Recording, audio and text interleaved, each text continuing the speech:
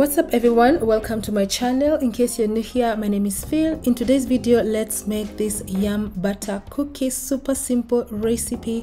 Anyone can make this at home. They are so sweet and chewy. You will love them. I always have them with some hot coffee or tea or just some cold milk. They always come out so amazing. So without saying more, let's get started. So the first step you're going to do, you're going to add some softened butter in a bowl. Here I'm using unsalted butter. You can use margarine if you don't have butter butter.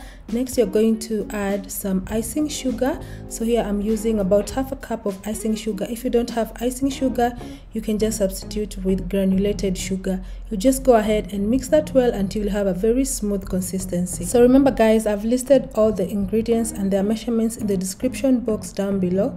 So remember to check on that. And also if you're new to this channel don't forget to subscribe for more of my amazing recipes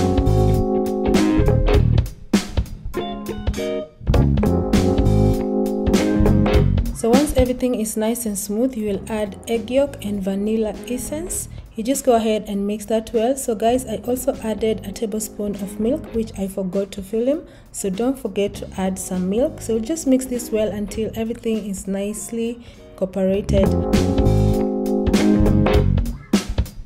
So next we're just going to add some flour. So I'm adding all-purpose flour. I'm following that with some corn flour.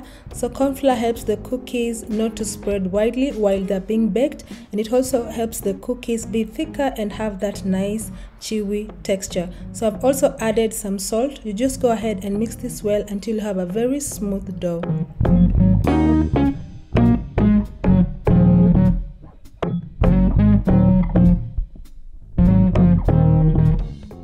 Our dough is ready so for the next thing you're just going to put it in a piping bag. So here i have my piping bag that has a star nozzle. So just put your dough inside the piping bag and then you're just going to pipe the dough on your baking tray. So here i have my baking tray that has a parchment paper. So you'll just make any shape that you want but i always like this shape just a circular motion. So this recipe makes about 15 cookies. So once you're done piping the dough you're just going to leave it in your fridge for at least 20 to 30 minutes.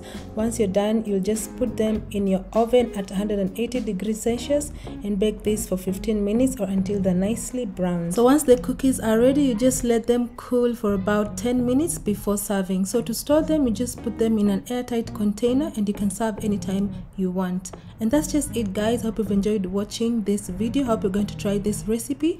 And as usual don't forget to tell me how yours came out on the comment section down below. So till my next video bye